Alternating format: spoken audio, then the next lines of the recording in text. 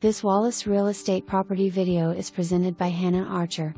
Quaint fixer-upper located in the Pleasant Ridge area of Knoxville. Investment opportunity. This townhome offers two bedrooms, two baths, a private back patio, designated parking, and much more. This property is a diamond in the rough, all you need to do is help it shine.